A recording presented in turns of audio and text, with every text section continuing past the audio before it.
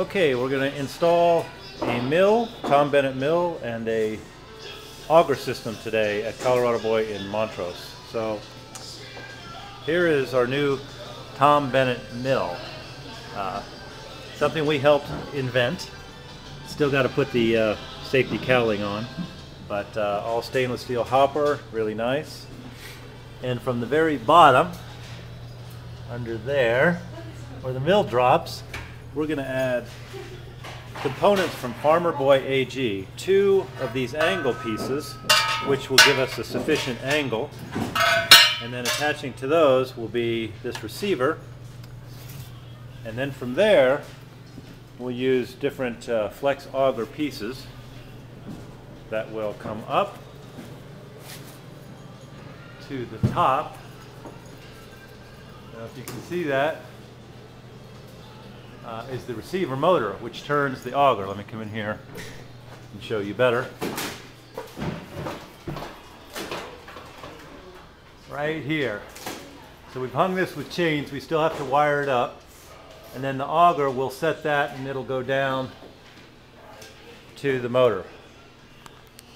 There we go. Okay, so now we set up those two angle pieces and we've established a an angle that can come off the mill. It can go up to 60 degrees. Okay, now we've got the mill set up and we've run the auger and it goes all the way up there. Our next thing is we're going to unravel the, uh, the flex corkscrew auger part itself and we're going to run it down through the top and then connect it right here to this bearing piece. Slide that in, then we'll tension it and then hook it back up to the motor. Okay, here's a close-up of the motor that drives this whole thing. That goes down. And what we're doing is we're, we're this is uh, the control box, and then this is the motor itself. We're going to wire them together and then run the switch down next to the mill. This is a close-up of what it looks like. So now we're going to take this off and we're going to put, put the corkscrew uh, in through this end. Okay, so now we've got the uh, auger set in the tube and you can see it comes out, we actually tensioned it. It's uh, supposed to be two inches per 50 feet. Uh, we're about 25 feet, so we pulled it through there. We just kept pulling it through until we had about an inch of tension and then we tighten this little lock nut down and uh, that buttons that up. Okay, in conclusion, we have it switched for the auger and the mill, which powers our explosion-proof motor. Explosion-proof motor. Right there, to our really sweet hopper. Auger all the way up, locking in here. Let's see, going above the mash tun right there.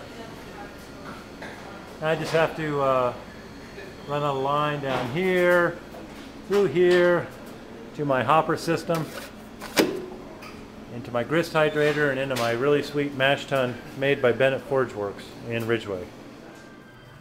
Okay, now we've hooked up our uh, mill and our auger, and it's up there as the previous video.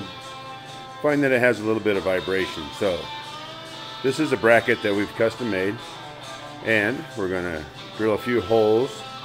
We're going to use this pipe clamp or U-clamp to connect it to our pipe right up there and attach that to the ceiling, take some of the vibration out of that. Okay, here's that bracket that Steve made in place and we are doing our first mash.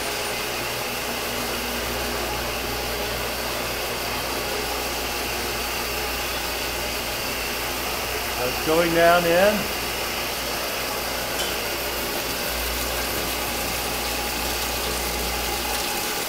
Into the mash.